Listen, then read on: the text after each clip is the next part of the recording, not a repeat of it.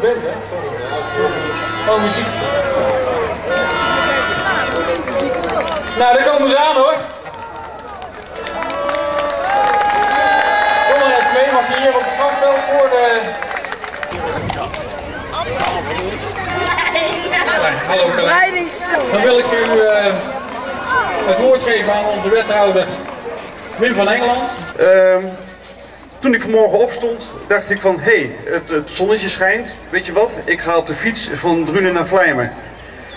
Maar toen ik buiten stond, was ik heel snel op andere gedachten gekomen. Want het was toch een partij koud. En toen dacht ik gelijk aan jullie.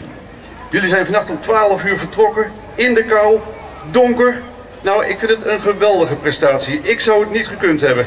Ik denk dat we maar eens moeten beginnen met een enorm applaus voor deze prestatie. En deze prestatie is niet zomaar tot stand gekomen. Het is niet zo dat ze gisteren in de bus gestapt zijn, naar eh, Wageningen gereden en zijn gaan wandelen.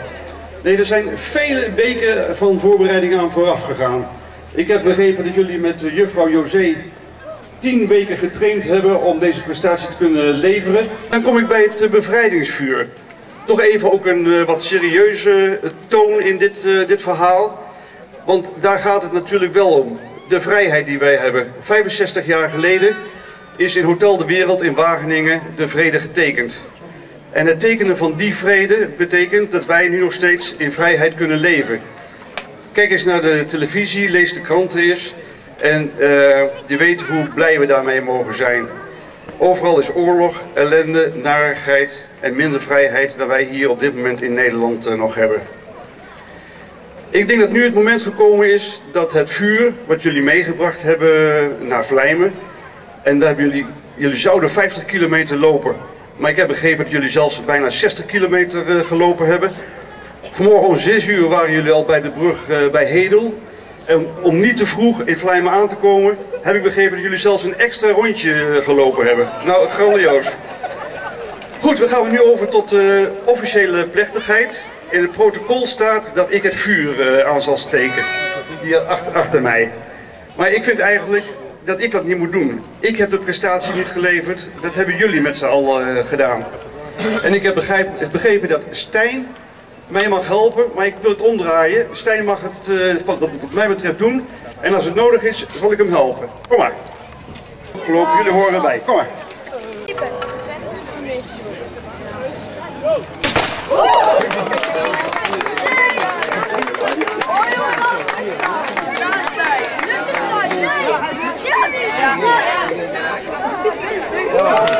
Dankjewel.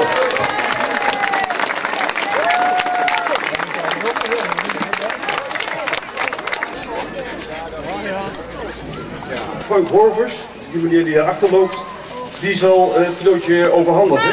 En ik heb begrepen dat voor jullie er ook een mooie bos bloemen is en een speldje, maar dat zou iemand anders verzorgd worden. En dan krijgen jullie een cadeautje. Dave van Bokhoven.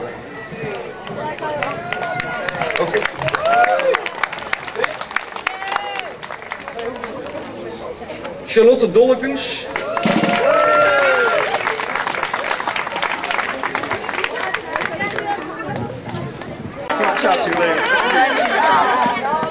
Anne van Heesbeen.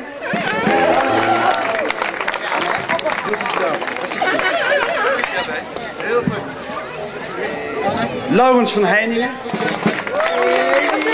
Mijn naam is. Jacobs.